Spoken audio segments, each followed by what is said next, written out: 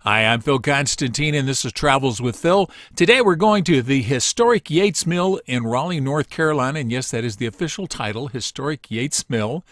And this was started in the 1750, and it's the only operational mill still left in uh, North Carolina. Let's go to a video that they produced there at the mill.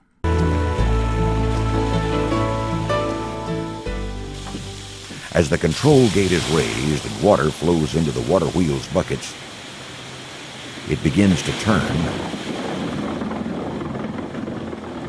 The attached ring gear turns as well. This gear is meshed with a pinion gear on the end of the mill's main horizontal drive shaft. Through several different power transfer systems, this long axle supplies the energy needed to operate all the chain drive that rotates a secondary horizontal axle, a gear cluster, and a vertical spindle that takes power to the wheat grinding stones wheat becomes flour at Yates Mill. Using Oliver Evans's 18th century technology, the process of turning wheat into fine flour is fully automated. That carries it up to a rolling screen cleaner on the third floor where harvest debris is removed. Next, the wheat travels to a hopper and is fed through a chute down to a second cleaner known as a scourer located on the second floor. The friction of the grinding process makes the meal warm. Flour is spread out on the floor and cooled by a mechanized rake called the hopper boy. Then fed through a hole in the floor to an auger which hangs on the ceiling of the second floor that conveys the flour inside the bolter. The bolter's revolving hexagonal reel is covered with three different weaves of silk cloth that sift the flour from the cool wheat meal and separate it into three grades.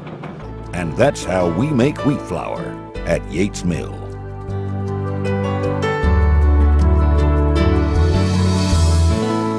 This is just outside of Raleigh, North Carolina. I like the sign there that says Northern Water Snake Habitat.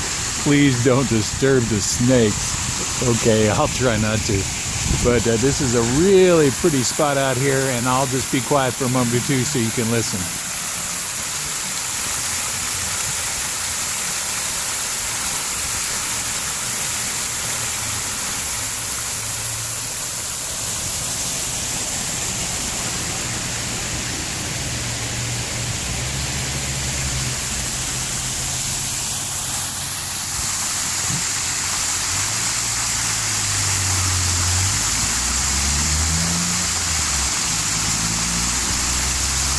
Well, it is next door road.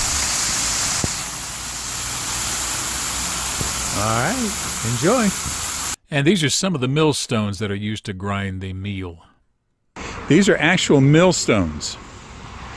This is the things that ground together on one on top, one on the bottom to uh, grind up your meal or your grains, corn, wheat, whatever.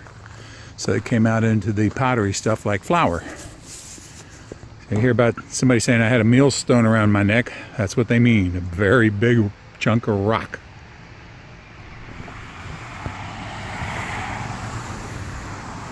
Well, all right. I hope you've enjoyed this trip to the historic Yates Mill in North Carolina. You can leave comments below as long as the language is family friendly.